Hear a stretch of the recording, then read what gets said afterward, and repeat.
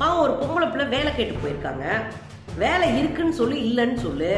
ஆனால் வர சொல்லி அவங்ககிட்ட வந்து வேலையை பற்றி டிஸ்கஸ் பண்ணுறதா சொல்லிட்டு பாலியெல்லாம் சுரண்டிடலாம் வேலை வாங்கி கொடுக்கறதுக்கு இதுதான் ஈல்டு அப்படின்னு நினைக்கிற அயோக்கிய பயலா இந்த ஸ்ரீதர் தேஜ்முக்கு இருந்திருக்கான்.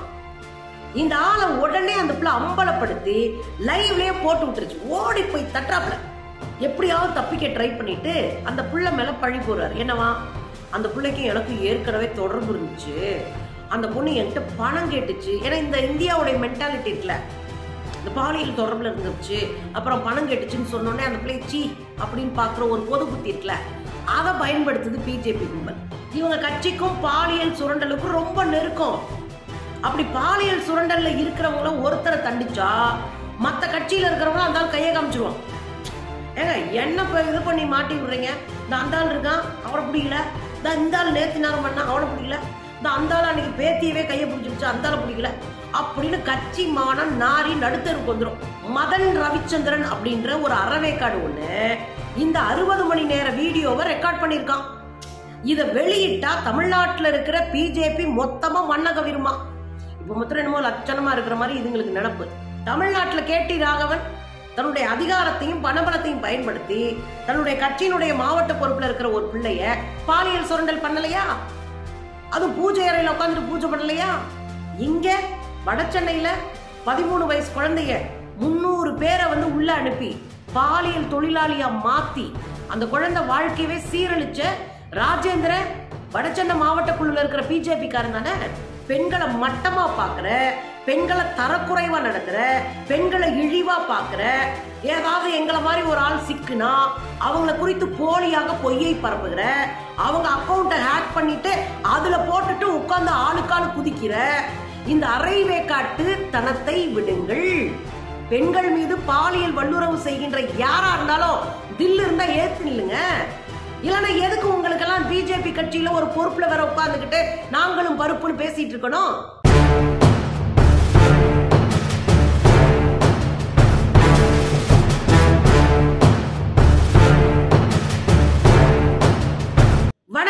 தோழர்களே உலகத்திலேயே பெண்களுக்கு ஆபத்தான நாடு அப்படின்னா பட்டியல்ல முதல் இடத்துல இருக்கிறது இந்தியா.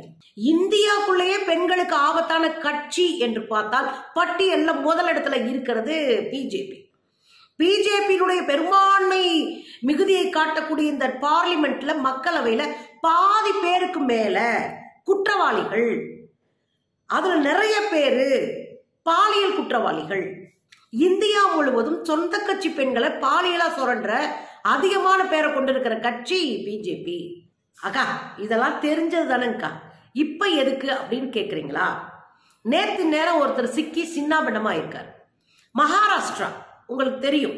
போன வாரம் உத்தவ் தாக்கரே உங்களுடைய ஆட்சியை கலைச்சிட்டு பின்கேட்டு வழியா உள்ள போய் சிவசேனா கட்சியில் இருக்கிறவங்கள பூரா சுரண்டி பிடிச்சி அவங்களுக்கு ஐம்பது கோடியிலிருந்து நூற்றம்பது கோடி வரை பணம் கொடுத்து அந்த கட்சி ஆட்களை எல்லாம் விலைக்கு வாங்கி பிஜேபி இன்றைக்கு ஆட்சி அமைச்சிருக்கு. அந்த பிஜேபி கட்சியினுடைய ஒரு மாவட்ட தலைவராக இருந்தவர் தான் ஸ்ரீகாந்த் தேஜ்முக் என்கிற பிஜேபிக்காரர். இவர் மாவட்ட தலைவராக இருந்துகிட்டு அந்த ஊர்ல இருக்கிற ஒரு முப்பத்தி ரெண்டு வயதான பெண் ஒருத்தர் வேலை கேட்டு அங்க போறார். அவரை வர சொல்லி பாலியலா அவரை சுரண்ட நினைக்கிற போது அந்த பெண் தப்பிச்சு முகநூல்ல இருக்கிற லைவ் வீடியோ மூலமா அவரை அம்பலப்படுத்தி இருக்கு. பாவம் ஒரு பொம்பளை பிள்ளை வேலை கேட்டு போயிருக்காங்க. வேலை இருக்குன்னு சொல்லு இல்லைன்னு சொல்லு. ஆனா வர சொல்லி அவங்ககிட்ட வந்து வேலையை பற்றி டிஸ்கஸ் பண்றதா சொல்லிட்டு பாலியெல்லாம் சுரண்டிடலாம் வேலை வாங்கி கொடுக்கறதுக்கு இதுதான் ஈல்டு அப்படின்னு நினைக்கிற அயோக்கிய பயலா இந்த ஸ்ரீதர் தேஜ்முக்கு இருந்திருக்கான். இந்த ஆளை உடனே அந்த பிள்ளை அம்பலப்படுத்தி லைவ்லயே போட்டு விட்டுருச்சு. ஓடி போய் தட்டாப்புல தட்டிட்டு அந்த பொண்ணு விடுங்க விடுங்கன்னு கத்துது. தட்டி போனை உடைக்கிறாரு. அப்புறம் என்ன? லைவ்ல இந்தியா முழுசும் தெரிஞ்சு போச்சு. லைவ்ல அரைங்குறை ஆடையோட உட்கார்ந்துருந்தது இந்தியாவே பார்த்துருச்சு. அப்புறம் எப்படியாவது தப்பிக்க ட்ரை பண்ணிட்டு அந்த பிள்ளை மேல பழி போறாரு என்னவா? அந்த பிள்ளைக்கும் எனக்கும் ஏற்கனவே தொடர்பு இருந்துச்சு. அந்த பொண்ணு என்கிட்ட பணம் கேட்டுச்சு. ஏன்னா இந்த இந்தியாவுடைய மென்டாலிட்டி இருக்குல்ல. இந்த பாலியல் தொடர்பில் இருந்துச்சு அப்புறம் பணம் கெட்டுச்சுன்னு சொன்னோடனே அந்த பிள்ளை சீ அப்படின்னு பார்க்குற ஒரு பொது புத்தி இருக்குல்ல அதை பயன்படுத்துது பிஜேபி கும்பல். இந்த ஸ்ரீகாந்த் தேஜ்முக் இருக்கார் இல்லையா? அதனால என்ன பண்றாருன்னா இந்த பொண்ணுக்கு எனக்கு ரொம்ப நாளா பழக இருக்குங்க. இந்த பொண்ணு என்கிட்ட காசு கேட்டு என்னை மிரட்டுச்சு. நான் அதை கண்டிச்சேன். அதனால தாங்க இது படிச்சுன்னு அப்படின்னு ஒரு கதையை அவுத்துடுறேன் மகாராஷ்டிரால பிஜேபியினுடைய மாநில துணை தலைவராக இருக்கக்கூடிய சித்ரா வாக் அப்படின்ற பெண் இவங்க கிட்ட போய் பேசியிருக்காங்க என்ன பேசியிருக்கிறாங்க ஸ்ரீகாந்த் ஸ்ரீகாந்த் நீ வந்து இனிமேல் பதவியில நீடிக்க கூடாது. நீங்க பதவியை ராஜினாமா பண்ணிருங்க அப்படின்னு வலியுறுத்தியிருக்காங்க. இவங்க வலியுறுத்தின உடனே அவரும் நம்ம தலைமையே கேட்டாங்களே அப்படின்னு சொல்லி பா ராஜினாமா பண்ணி பதவியை விட்டு வெளியேறிட்டாரு. அவர் வெளியேறின பிறகு இந்த மாநில குழு அதாவது மகாராஷ்டிரா மாநில குழு பிஜேபியினுடைய மாநில குழு இவரை அடிப்படை உறுப்பினர் பதவியிலிருந்து வெளியேற்றி இருக்கிறார்கள் நமக்கு என்ன கேள்வினா ஊர் உலகமே பார்க்குற வீடியோ கையும் களவுமா சிக்கினது இருக்கு கையில். அதில் அவங்க என்ன சொல்கிறாங்கன்னா அந்த பெண்ணே வந்து எங்ககிட்ட கம்ப்ளைண்ட் கொடுத்தா நாங்கள் ஆக்ஷன் எடுப்போம். ஏன் கையில் தான் எவிடன்ஸ் இருக்குல்ல? ஆக்ஷன் எடுக்க வேண்டிதானே ஆட்சியை தான் பின்கேட்டு வழியே உள்ள நுழைஞ்சு ஆட்டையை போட்டு வச்சிருக்கீங்கல்ல? அப்போ அவங்கக்கிட்ட சொல்லி இவர் மேலே குற்றப்பத்திர நடவடிக்கை எடுக்க வேண்டிதானே பாலியல் சுரண்டலுக்கு எதிரான நடவடிக்கை எடுக்க வேண்டிதானே ஆனால் அதெல்லாம் இவங்க செய்ய மாட்டாங்க. ஏன்னா இவங்க கட்சிக்கும் பாலியல் சுரண்டலுக்கும் ரொம்ப நெருக்கம். அப்படி பாலியல் சுரண்டல்ல இருக்கிறவங்கள ஒருத்தரை தண்டிச்சா மற்ற கட்சியில இருக்கிறவங்களும் அந்த ஆள் கையை காமிச்சிருவோம் ஏங்க என்ன இப்போ இது பண்ணி மாட்டி விடுறீங்க? இந்த அந்த ஆள் இருக்கான் அவரை பிடிக்கல. இந்த இந்த ஆள் நேர்த்தி நேரம் பண்ணா அவனை பிடிக்கல. இந்த அந்த ஆள் அன்னைக்கு பேத்தியவே கையை பிடிச்சிருச்சு அந்த ஆளை பிடிக்கல.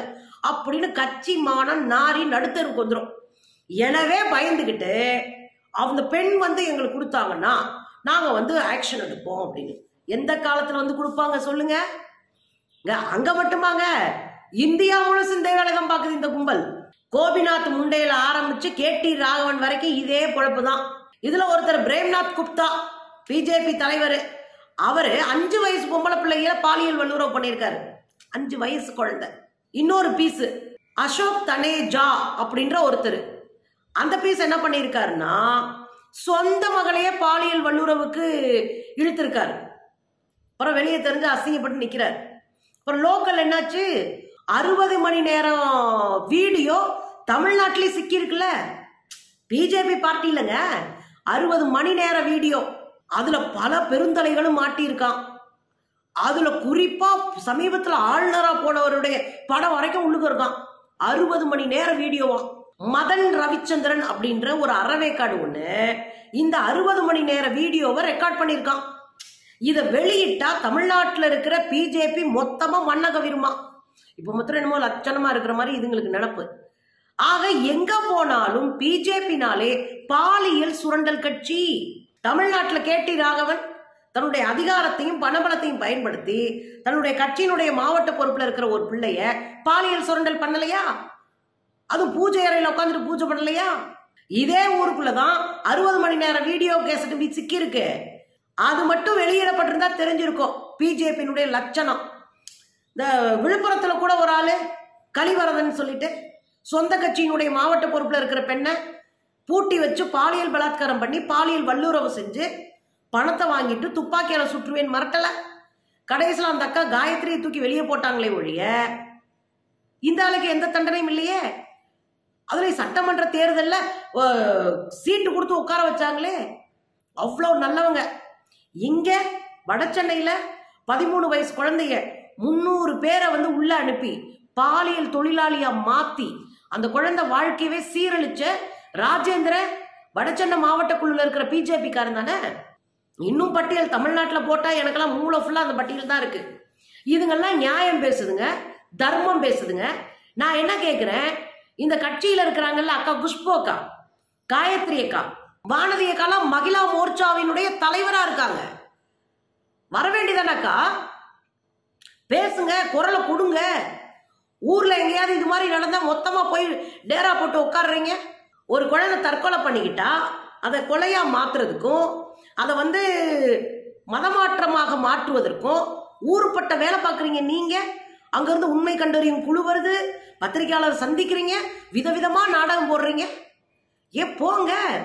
உங்க கட்சியில இருக்கிற பெண்களை உங்க கட்சியில இருக்கிற ஆண்கள் பொது வழியில இருக்கிற பெண்களையும் சேர்த்து சுரண்டுகிற போது கேள்வி எழுங்க.